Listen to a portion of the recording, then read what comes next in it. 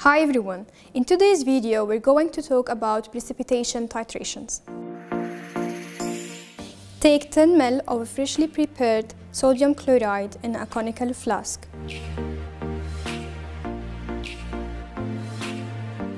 Add potassium chromate indicator solution and shake to mix well. Fill the burette with 0.1 molar silver nitrate and start the titration after taking the initial burette reading.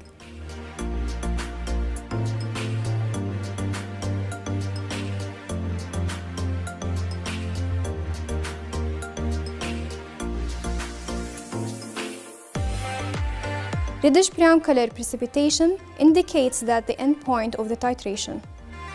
Now take the final burette reading.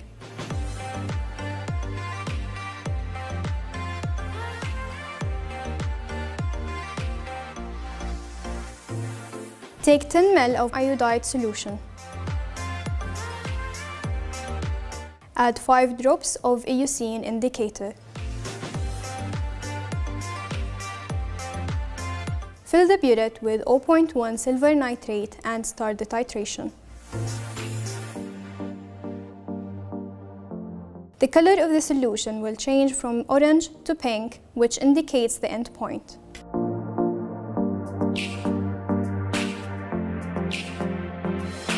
Take the final burette reading and start your calculations. Thank you.